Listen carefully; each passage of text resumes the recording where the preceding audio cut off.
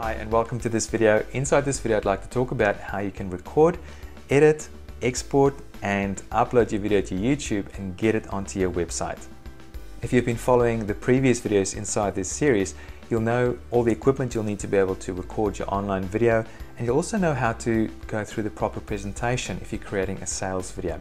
So inside this video I'm going to go into a little bit more detail to talk about how to record it, how to edit it, how to export it to, uh, to the right format, how to get it onto YouTube and then get it onto your website so that other people can watch your video.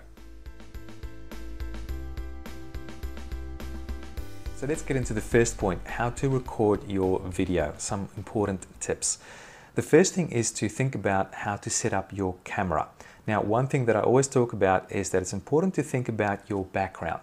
Now, in this case, I'm using a fairly simple and clear background because I don't want to distract people with a bunch of other things. It also allows me to put images or texts over on this side uh, to help prove my point or to support whatever I'm talking about. Now, it may be different for your situation and you may want to have other things there like nature scenes or whatever. It's up to you, but think about your background. That's, uh, that's the point I'm trying to make here and make sure that it's appropriate for your video. The other thing to think about in terms of setup is your lighting. Now in my case, in this particular case, I'm recording inside a studio and I'm actually using two lights. So there's a light over there and there's another light over there. They're both at about 45 degree angles from where the camera is. So the camera's over there, of course, where you are. Um, so in my case, I'm using two lights to help me light up this, the, my face and to make sure that the, the video quality is good enough. Now, you may be recording during daytime or in a room where there's lots of natural light and you may not need lights, or you may be recording outside, in which case you probably also don't need any lights. But uh, in any of these cases, just make sure that whatever you're recording uh, is getting enough light because that can help you get the quality of your recording much, much better. And another little tip for when you're recording is to leave pauses right before you start talking and also right at the end. Now, what this does is that it helps you during the editing phase to easily do fade ins or fade outs or cuts and when you're moving clips around. So it just helps you during the editing phase uh, to make sure that you don't cut your voice off at the beginning or at the end. So leave pauses before you start talking and also at the end. Just keep looking at the camera, uh, pause for a couple of seconds and it just helps a lot during the editing phase, trust me. The next stage is to start editing your recordings on your computer. Now, if you used any of the cameras that I recommended inside one of the previous videos, it'll be pretty straightforward because all of them requires a USB connection to your computer. So all you do is plug the camera into the USB port of your computer and transfer those files onto your computer. The next stage is to get those files into your editing program and you simply open them up inside your editing program and then you're ready to start editing. Now just for editing, here are a few little tips that will help your video come across a lot more, lot more professional. The first thing is the use of titles. This is absolutely not critical, but it can help you come across a little bit more professional. Uh, so look for the titles function inside the software that you're using, the software that I recommended previously, and you know just add it right at the beginning of your video, uh, throughout your video if you want to make certain points, and maybe at the end as well when you call people to action, when you tell them where to go to a certain website, for example. The other thing you can use is fade ins and fade outs and this is just a really nice and easy way to make your video just come across a little bit more professional. Uh, very very simple to just add a little one or two second fade in at the beginning and a fade out at the end. I often do this just with my YouTube videos where I'm a little bit lazy, I don't want to do any fancy editing and often that's all I need to make my video look very very good. Another thing you can do is to add cuts inside your video to uh, have those instant zoom ins and zoom outs and this can create the perception that you're using more than one camera. It can also make your videos come across a lot more professional.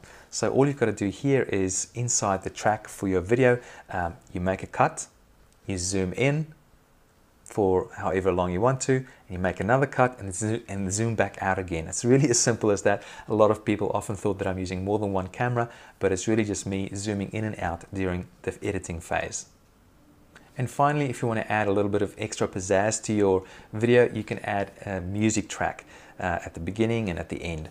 And this is really easy to do. All you've got to do is add it and then add a fade out at the beginning and at the end you add it again with a fade in and towards uh, louder music towards the end. So often using a bit of music can make your videos come across a little bit more professional as well.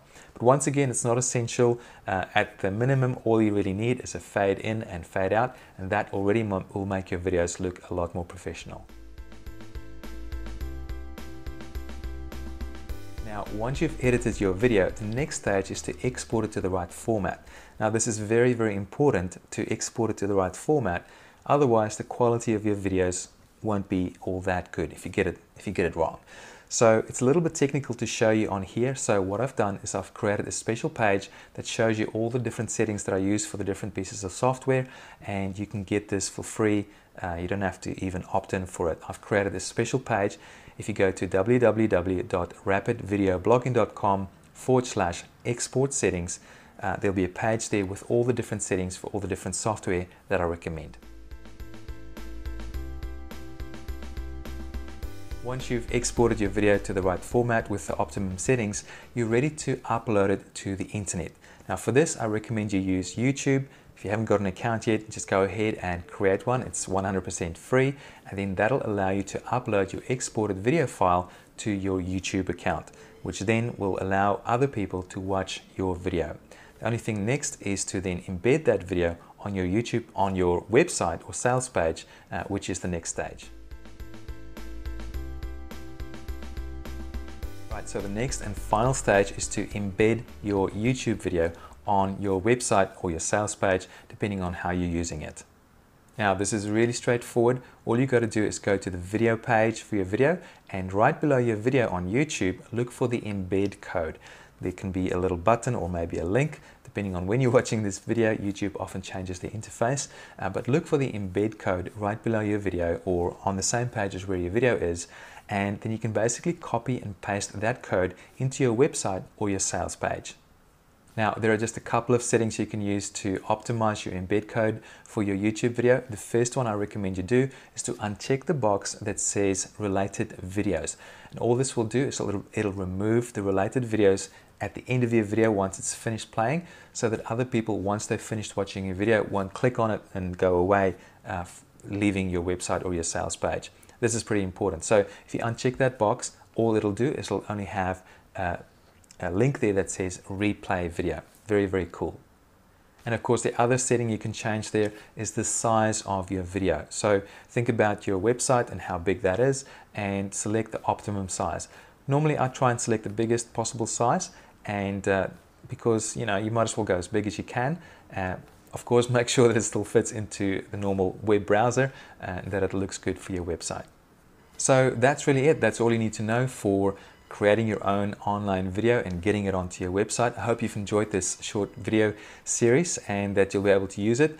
My recommendation is to really just get started. At the beginning, it might be a little bit tough to you know, to go through the process and you might think it's difficult, but trust me, the second and third and fourth time, it'll be a lot easier. And after a while, you'll, you'll wonder why you ever thought it was difficult. It's very, very straightforward. If you'd like to find out how I make a six-figure income with online video, I've created a special free report that you can download at www.rapidvideoblogging.com. Inside the report, I talk about how I create massive amounts of traffic back to my site, how I build my email list, and then how I monetize my online videos as well. So just go to www.rapidvideoblogging.com to be able to get access to my free report. Thank you for watching, and I'll see you inside my next video.